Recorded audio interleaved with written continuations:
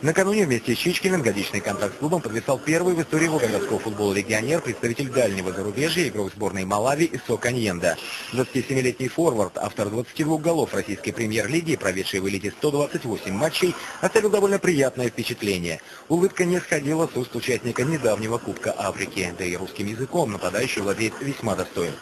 Кого-то знаете из этой команды? Да, я Чичкин знаю, Кола Леников знаю, а Сергей еще молодой там, я знаю, когда я в Ростов был, я с ними играл. Не только я буду играть, все, все команда, если будет хорошо играть, все будет нормально. Жизнь начинается, когда 30 лет. Я думаю, еще много лет будет играть.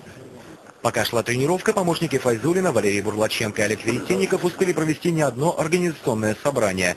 Выпускник высшей школы тренеров и пока еще ее слушатель заняты оргвопросами в преддверии второго сбора, который пройдет в турецком Кемере с 18 февраля по 4 марта. Я уехал, и много событий произошло за это время. И очень приятно, что все это все-таки так разрешилось. И те вот мои, как мои ученики, которые вместе со мной учились, футболисты, которые играют. Ротор транзитом через Москву отправляется на сбор в Турцию. 24 и 27 февраля, а также 3 марта волгоградцы проведут на Средиземноморском побережье контрольные матчи. С кандидатурами соперников тренерский штаб определится на месте. Дмитрий Каунов, Андрей Гатьянов, Вести Волгоград.